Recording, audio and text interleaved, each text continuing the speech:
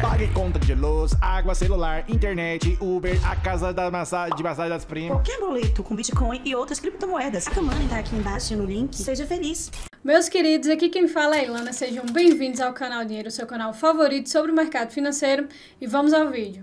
Meus amigos, o Shiba Inu caiu ainda mais em 24 de novembro, quando seu apelo entre o exército de comerciantes de varejo, que o ajudou a se recuperar em mais de 535% para um recorde no início deste ano, diminuiu. O preço do Shiba caiu quase 60% depois de estabelecer o dito máximo em 28 de outubro, sinalizando que os comerciantes têm alocado ativamente seus lucros em Shiba Inu. Isso resultou ainda em uma queda substancial no instrumento de referência do SHIB de volume SHIB USDT na Binance, ressaltando em um fraco interesse de varejo. Ao fazer isso, a capitalização de mercado relatada do SHIB caiu para 21,30 bilhões de cerca de 28,31 bilhões em apenas 5 dias, começando na sexta-feira. Os dados de pesquisa de palavras-chave do Google também mostraram interesse em declínio nos mercados de Shiba Inu, com a sua pontuação em um período de 12 meses caindo de 100 para 20, muito em linha com a correção de preço de 60% do Shiba. Alex Kruger, um analista de mercado independente, referiu-se à queda do Google Trends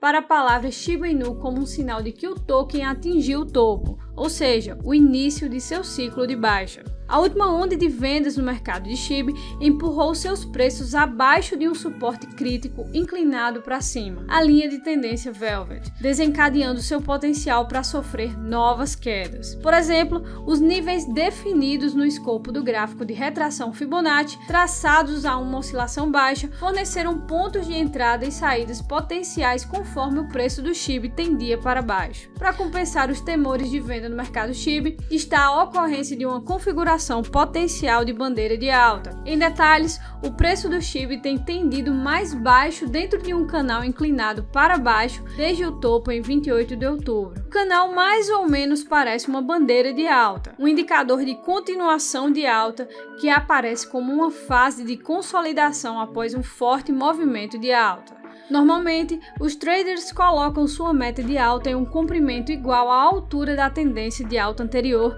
chamada de mastro, antecipando que o instrumento irá quebrar acima da faixa da bandeira com volumes mais altos. Como resultado, o Shiba tem potencial para subir à altura de seu mastro.